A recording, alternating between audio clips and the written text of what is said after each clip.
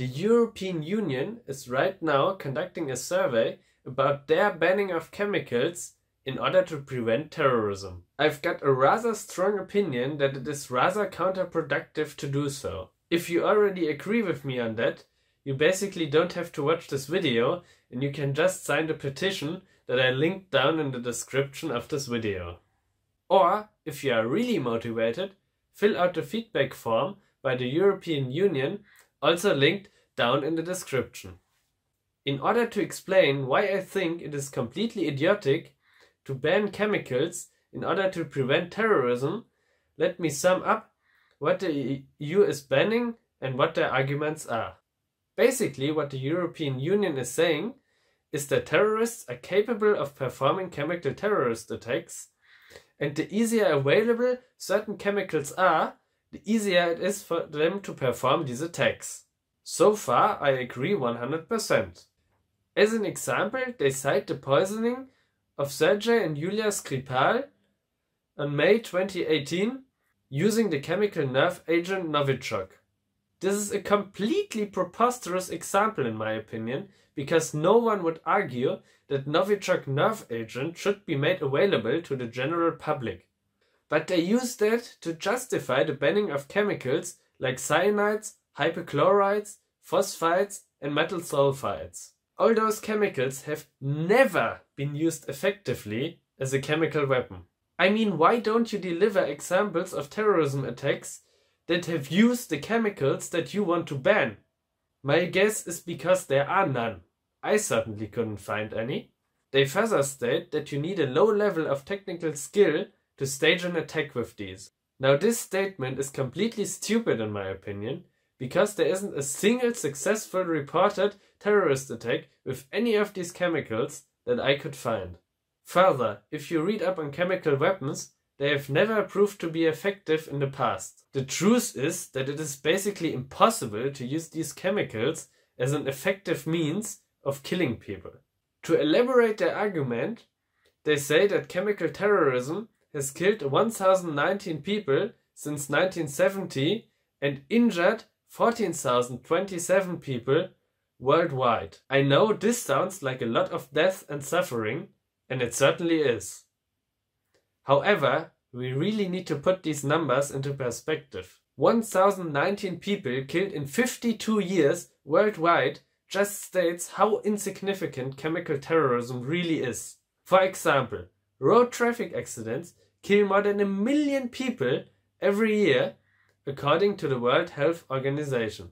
Does that mean we should ban road traffic? Compare that to chemical terrorism that kills about 20 people per year.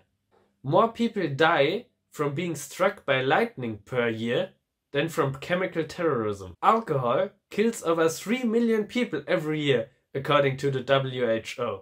That's 5.3% of all deaths. Why don't you try banning that?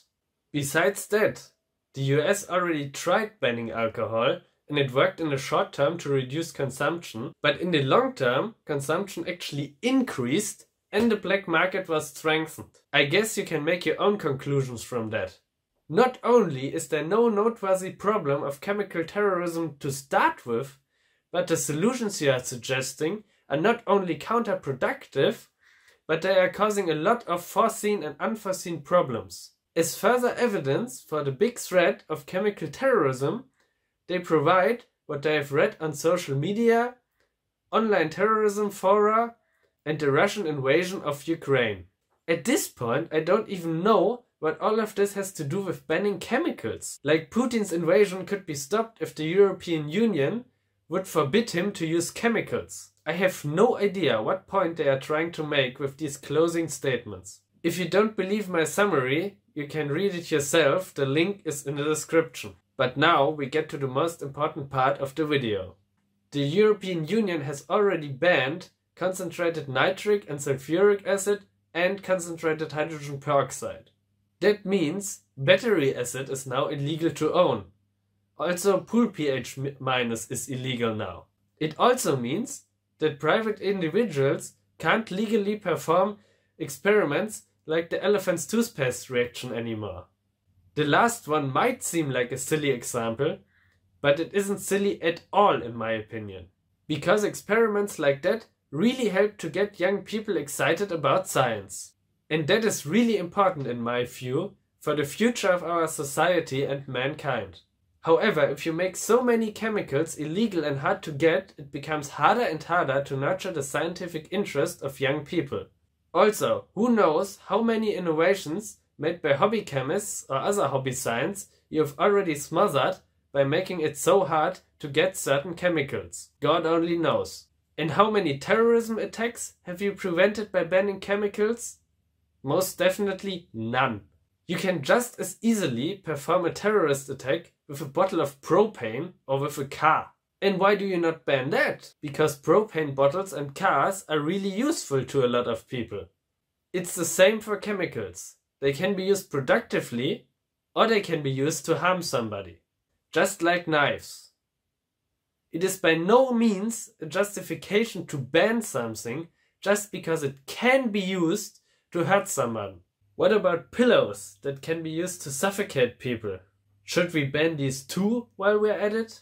Also, with the help of a little electricity, it is easily possible to turn water into highly explosive HHO gas, or air into nitrites and therefore gunpowder using the Birkeland-Eyde process. So from the point of view of a chemist, you basically need to ban everything, especially air and water, if you effectively want to prevent people from performing terrorist attacks. And good luck with that.